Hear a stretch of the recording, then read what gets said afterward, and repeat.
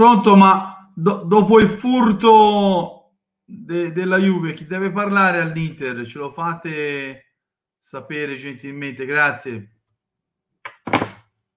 Ancora tutto tace e nessuno parla. Bocche uscite, nessuno dice nulla. Eh, mega scoop, mega scoop, mega bomba, come dicono, come dice quell'altro lì che parla un inglese da terza media e che a Oporto diceva tutto a posto, i tifosi dell'Inter entrano tutti, tutto risolto, 1200 tifosi fuori. ha intervistato il cinese, in seconda media parlano meglio di lui in inglese, fa anche rima. Ma di cosa stiamo ragionando qui?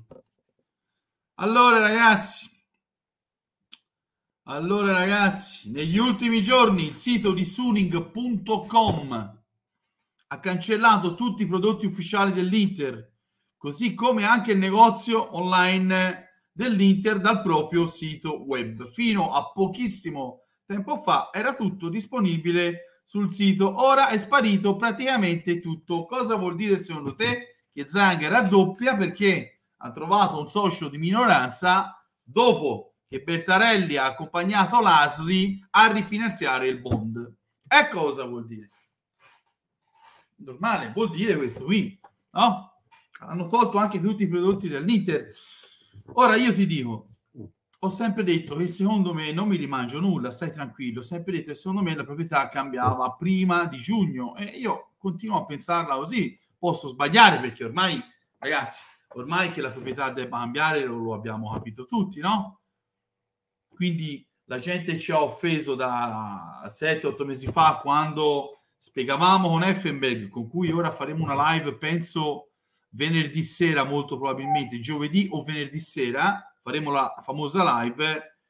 Eh, ci dovete riconoscere comunque, a parte la nostra fede, perché noi abbiamo preso gli insulti gratis senza nessuno scopo economico, dove eh, stavamo spiegando la situazione economica dell'Inter, no? Meno male Repubblica 20 giorni fa ha scritto quello e noi dicevamo da mesi. Quindi, eh, indipendentemente da quello, io penso che molto probabilmente la proprietà cambi molto presto, prima di giugno. Te mi dirai, siamo quasi a aprile, va bene. È anche vero però che difficilmente questo presidente rinuncia alle passerelle, perché quando c'è da pagare o quando c'è da metterci la faccia, lui scappa quando c'è qualcosina di positivo, le ultime cose da succhiare, lui le succhia. Questo è un presidente che succhia alla fine della fiera, capito? Lui succhia, il cinese succhia tutto quello di positivo che ormai è rimasto dai suoi primi ed ultimi investimenti nell'Inter. Quindi se c'è da fare una passerella, cioè, capito? Lui, lui praticamente con i paracadute dalla tribuna arriva in campo e si fa intervistare anche dalle scuole elementari, da, dalle maestre delle scuole elementari, da chiunque. Quindi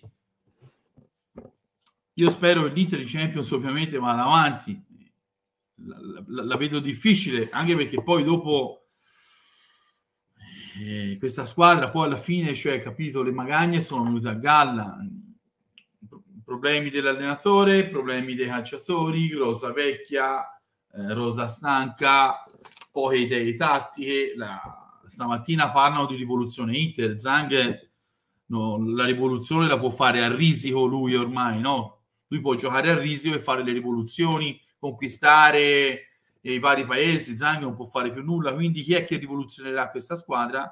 Questa squadra verrà rivoluzionata dai sauditi che appena entreranno la prima cosa che faranno è quella di togliere tutti i debiti perché loro non vogliono eh, una squadra che solo di interessi sui prestiti genera 40 milioni all'anno di passivo.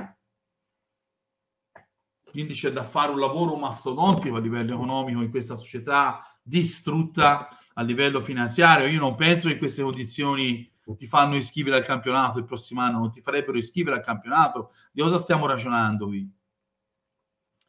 non servono prestiti, non servivano rifinanziamenti dei bond. Meno male, ora ci sono anche dei giornali con i contro puntolini, puntolini che lo scrivono. Qualcuno ha scritto nemmeno un pazzo entrava socio di minoranza nell'Inter. Quando lo dicevamo noi, qualcuno off- aveva il coraggio di offenderci. Poi, meno male, i giornali come la Repubblica l'hanno scritto e non solo.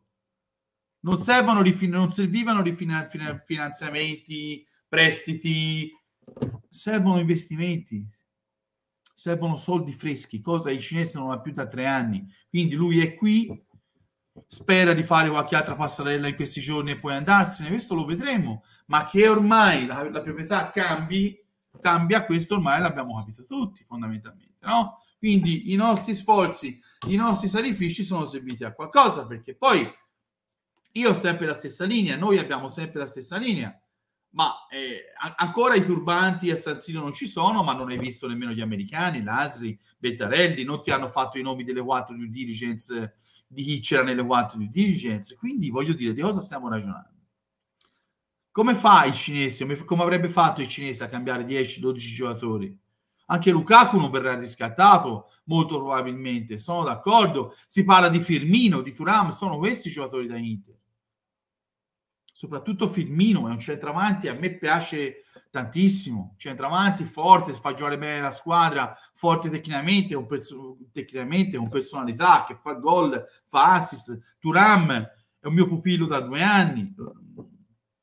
Io, io dicevo, prendiamo Turam infortunato invece di Correa e i ragazzi de- della chat lo sanno benissimo. Io dicevo, prendiamo Turam infortunato, ballerino lasciamolo allo titolo. Quindi Piano piano, qualche spifferino, cambio di proprietà lì, sì, ancora nulla, poi roba, ma vedete piano piano ci arriviamo, non ti preoccupare. Nel frattempo c'è la sosta, ci sono problemi, all'Inter non parla nessuno, c'è uno spogliatoio in, in totale anarchia, giocatori scontenti e poi c'è il classico, come tutti gli anni, esonero di Parrucca a Tottenham. Io te lo dico, Conte all'Inter non torna mi, mi, sbaglio, lo vedremo se mi sbaglio. Io ero l'unico a dirti, ricordatelo, che Conte sarebbe andato via con buona uscita.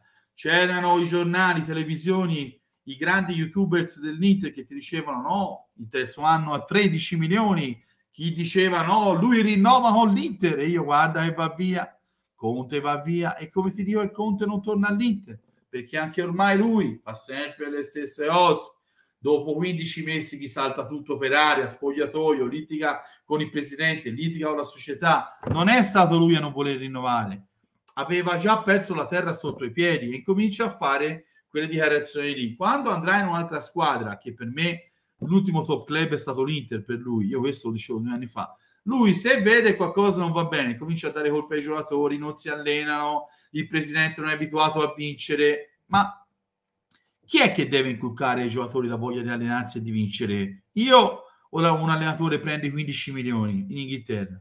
Dovrebbe essere lui, no? A inculcargli questa roba qui. Cosa c'entra la storia del club? Cosa c'entra la storia del club? Quindi te puoi vincere solo dove il club ha, sto- ha storicità di vittorie. E il Ranieri con il Leicester cosa ha fatto? Conte L'italiano ha fatto il miracolo in Premier, è stato Ranieri, non sei stato te, Conte, con un Chelsea a 700 milioni. Cosa aveva vinto il Leicester prima dello scudetto con Ranieri? Che vuol dire? Lui fa sempre le stesse dichiarazioni, fa sempre le stesse cose.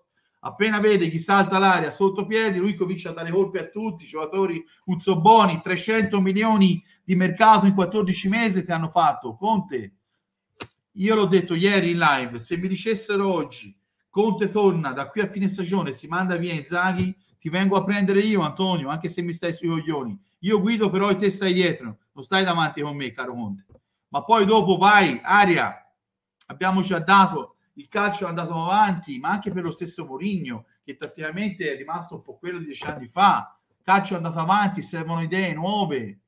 Non ci sono più i soldi di vent'anni fa, anche se a te, Antonio, hanno fatto un mercato da 300 milioni in 14 mesi. In Italia chi te lo fa un mercato da 300 milioni in 14 mesi? Lo possono fare i sauditi, ma non subito. Serve andare avanti in Champions, Antonio. Te chiappi schiaffi da chiunque in Champions League. La gente è rimasta legata alla tua vittoria all'Inter, non capisco perché. Non tornerà all'Inter, ragazzi. Ve lo dico io, non torna all'Inter. Poi lo vedremo se torna oppure no. Ciao Inter.